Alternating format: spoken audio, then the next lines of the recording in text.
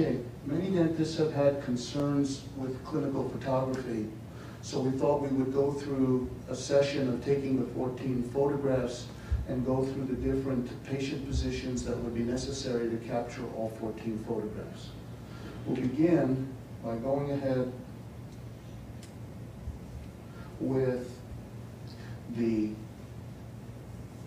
we'll begin by following in sequence what you see in the 14-page format, except what I'm going to do is simplify it a little bit and take those photos that have the same magnification at the same time.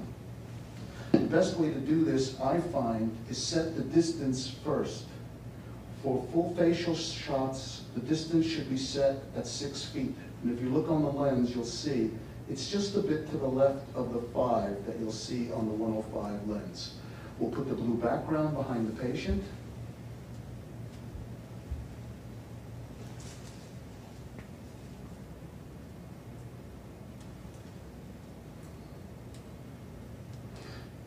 And then open up the f-stop.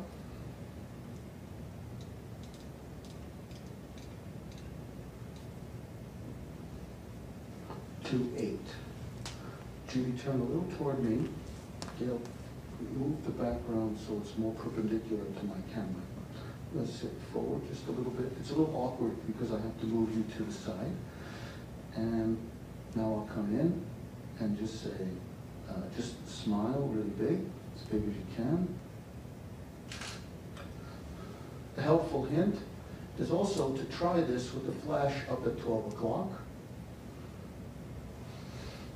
Smile really big.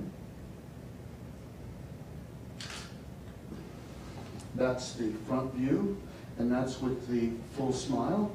Now let your lips relax, and we'll take repose. Smile, and not, not smile, just let your lips relax. Okay, I focus on the eyes, makes it a lot easier. Now we'll do the side profile. Uh, turn your head to the side. Here we'll hold the side the, all the way. I'll move the flash to the nose side, and I'll focus to about the position of the eyes, which is about one-third in, at the same magnification. Smile really big. Okay? And then I'll get a close-up view of this, but at this point, I'm going to change to F32.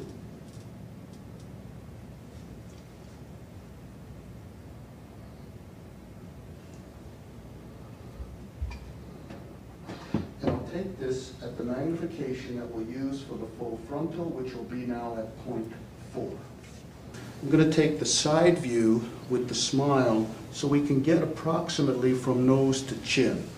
I turn this to about 0.8, nose to chin, and then I just come in, take the picture. Is that the biggest smile you have, Jim? Probably not. Try that, oh yeah, that'll be it. Real big smile. Okay. And then, the rest, as we look from the front, will all be at point four.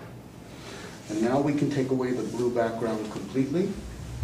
Head in the headrest and turn a little toward me. Now smile as big as you can. And I'll come right in.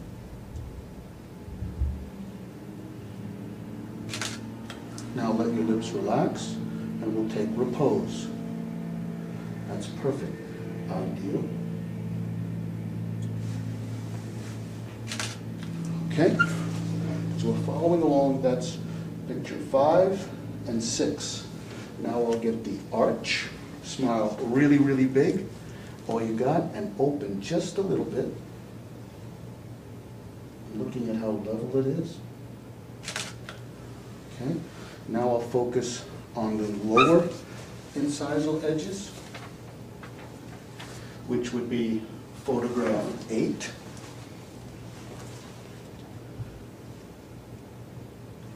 Open just a little bit. I'm just looking to see how much of the lower incisal edge sticks above the lip. Relax your tongue and open a bit. Smile just a little. Now let it relax. Now, okay.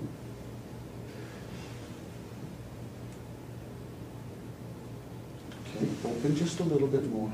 I'm just looking for lower lip in repose, and in Judy, it's just about at the level of the lower lip.